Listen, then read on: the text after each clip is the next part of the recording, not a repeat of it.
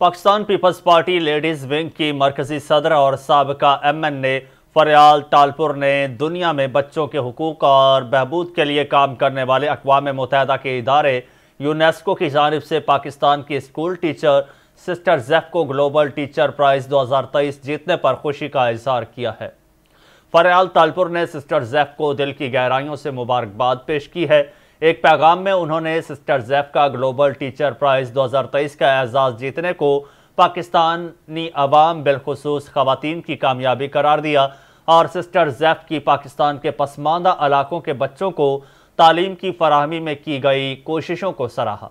UNESCO headquarter Paris में गुजशत दिनों होने वाले मुकाबले में Pakistani school teacher sister Zeph ने ग्लोबल टीचर्स प्राइज़ 2023 का टाइटल अपने नाम किया था।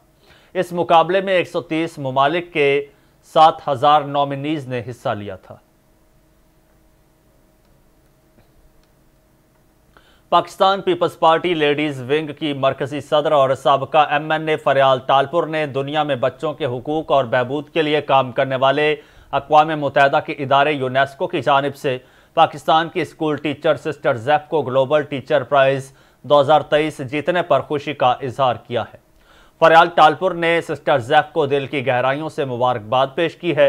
एक पैगाम में उन्होंने सिस्टर जैफ का ग्लोबल टीचर प्राइज़ 2023 का एजाज़ जीतने को पाकिस्तानी अवाम बिलखसूस खातन की कामयाबी करार दिया और सिस्टर जैफ की पाकिस्तान के पसमानदा इलाकों के बच्चों को तालीम की फराहमी में की गई कोशिशों को सराहा।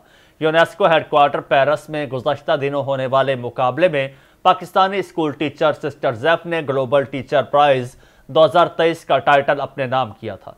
इस मुकाबले में 130 ममालिक के 7000 नॉमिनीज ने हिस्सा लिया था।